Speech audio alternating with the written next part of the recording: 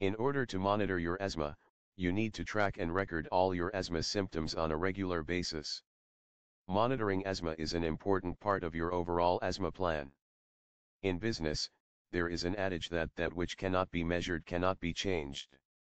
Your asthma is no different, and monitoring asthma symptoms is a very important part of your overall asthma action plan.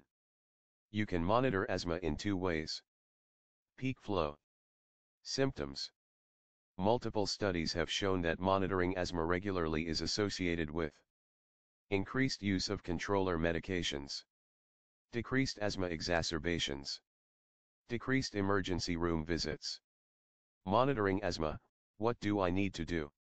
Make sure you have an asthma action plan. This is essential to controlling your asthma. Asthma care plans are developed with your doctor and are a roadmap for how your asthma is doing. Based on your monitoring, you may make changes in your medication use. Record your symptoms. Depending on the type of action plan you and your doctor develop, you may want to record asthma symptoms, peak flow, or both.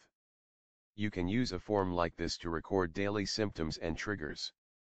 Additionally, the form can be printed to record symptoms such as wheezing, chest tightness, shortness of breath, and chronic cough.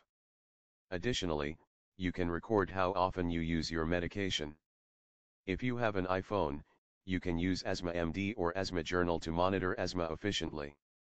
Record your PEFs. Using your peak flow meter, track your peak flow over time. If you and your doctor agreed this is an important part of your asthma monitoring, this simple test can give you powerful information about your asthma control. Look for changes in asthma symptoms and peak flow. When you experience drops in your peak flow or increases in asthma symptoms, closely follow your asthma action plan.